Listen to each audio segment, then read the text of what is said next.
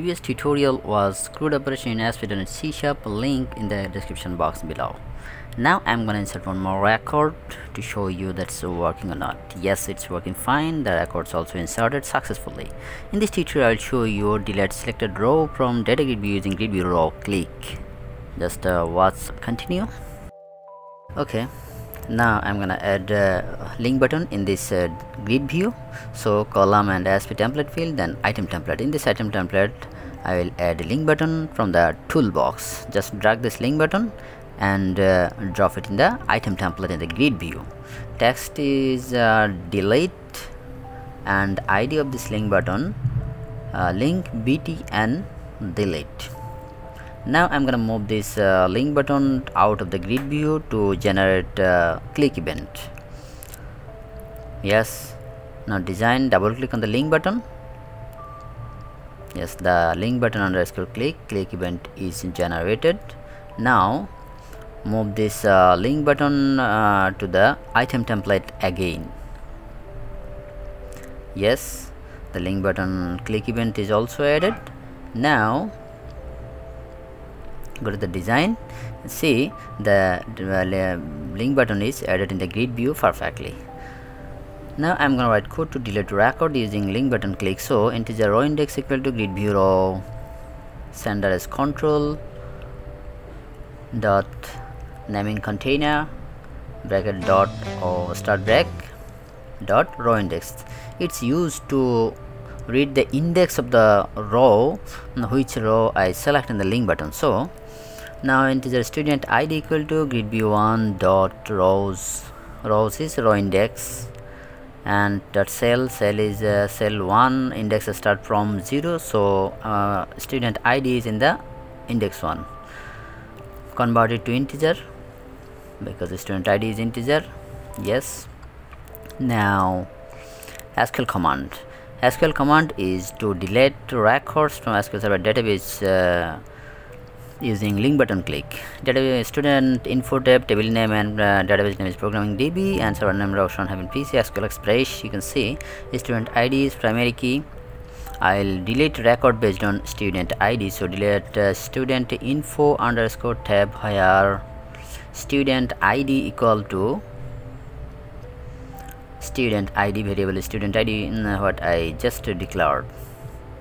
Student uh, id okay now initialize the connection string. I already created the connection string in the previous tutorial. What you can see link in the description box. My connection string is SQL connection con. You can see data choose option hyphen PC SQL express and database name is programming DB connection string is con. So just uh, put the con okay it's done. Now just write uh, just execute this command to execute this command just write cmd dot execute non-query then message it will display the message successfully deleted after executing the operation. Okay now right click and view in browser. Yes now just click on delete. Oh this connection current is closed you have to open this connection. So go to the code and just uh, write con dot open before the sql command.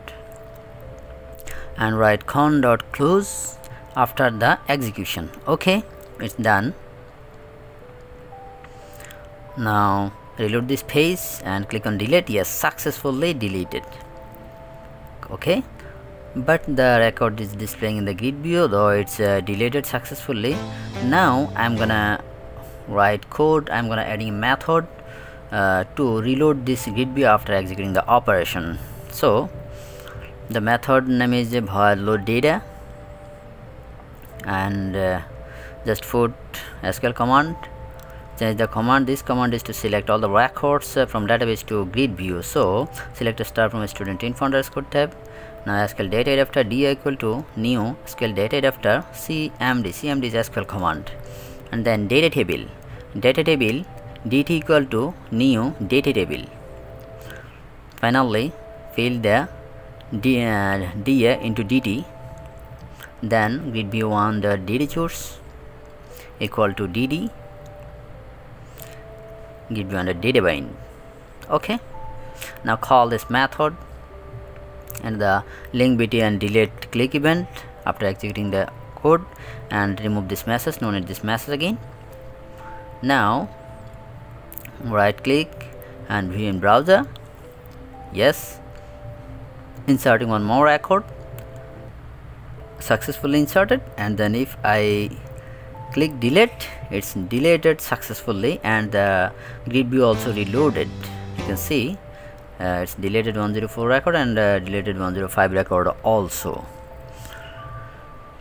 Now I'm gonna add confirm message because if you delete a record you cannot get back it. So on uh, add on client click. Just write return confirm are you sure to delete? Yes just write this code. In the link btn delete uh, yes now delete yes you can see it's displaying the confirm message are you sure to delete? If you click cancel it's it will not delete. Yes you can see if you click ok then it's deleted successfully and the grid will also reloaded thanks for watching this tutorial